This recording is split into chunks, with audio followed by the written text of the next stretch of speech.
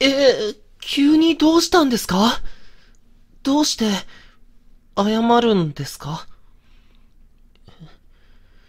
最近まで、浮気をしていた？もう浮気相手との関係は整理したし、二度と浮気なんかしないから、許してほしい？あの、そういうことは、わざわざ言ってくださらなくても大丈夫ですよ。もちろん、あなたのそういう正直なところも大好きですけど。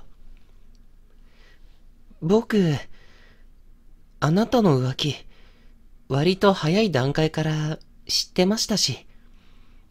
ああ、だから、そんなに謝らないで。大丈夫ですから。僕、あなたを責めるつもりは全くありません。というか、これからも浮気、いや、他の人とお付き合いをされても、僕は構いません。どういうことなのかって、えっと、なんて言えばいいのかな。僕、僕だけを見てほしいとか、そんなおこがましいことを言うつもりはありません。僕をそばに置いてくださるのであれば、浮気くらい受け入れます。他の人のことが僕よりも好きになって、僕が二番目になったとしても構いません。もし僕の存在が煩わしくなったら、しばらくどこかに消えてろと命令してくだされば、そうします。ああ、また謝られちゃった。大丈夫。もう謝らないで。僕、本当に皮肉や嫌味を言っているわけではありません。あの地獄のような日々から、僕を救ってくださった時から、あなたは、僕の世界の中心。いや、僕の世界のすべてなんです。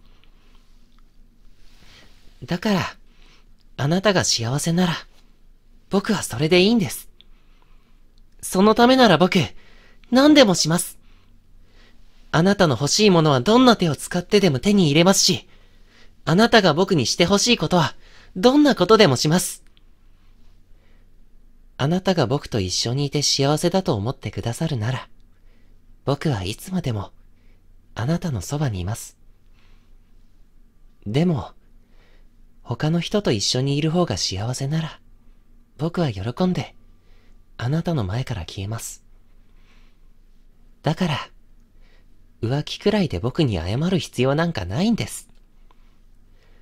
たとえ他の人と一緒だとしても、あなたが幸せなら、僕も幸せだから。どうしたんですか？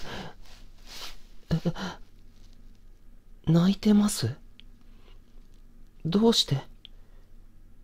もう絶対に僕を裏切ったりしないし、一生僕のことだけを愛し続ける？僕、本当に裏切られたとは思ってないのにな。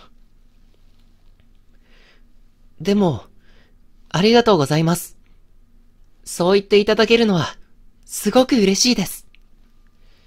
もちろん、あなたが僕との未来を望んでくださるなら、僕はいつまでも、あなたのそばにいます。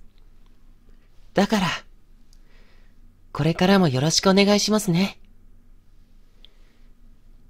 いつまでも愛しています。僕の女神様。